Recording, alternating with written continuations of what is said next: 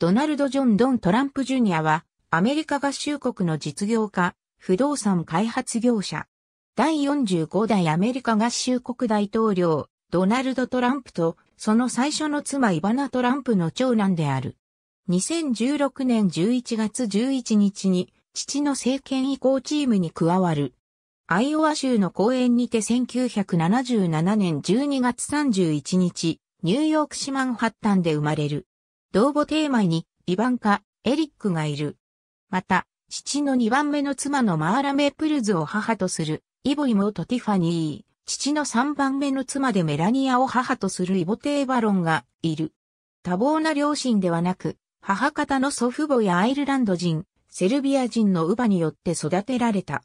とりわけ母方の祖父は、父親代わりとして大きな存在であった。そのため、チェコ語が堪能である。両親の離婚後、母親と共にフロリダ州パームビーチに移り、その後、弟と共にペンシルバニア州の名門寄宿学校であるザヒルスクールに入学した。同校卒業後、ペンシルベニア大学ウォートン校に入学。経済学の学士号を取得した。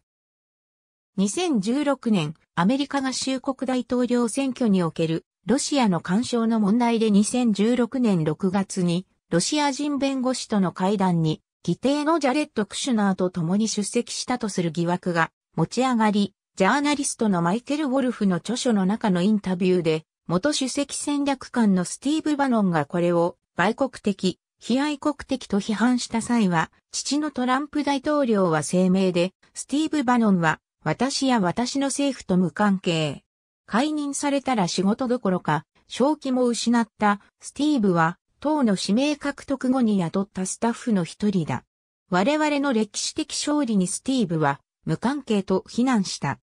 ドナルド・トランプ・ジュニアは2006年、父のテレビ番組アプレンティスに第5シーズンから出演した。ドナルド・トランプ・ジュニアは2005年11月12日、モデルのバネッサ・ケイ・ハイドンと結婚。三男二女の5人の子供がいる。2018年11月離婚。ありがとうございます。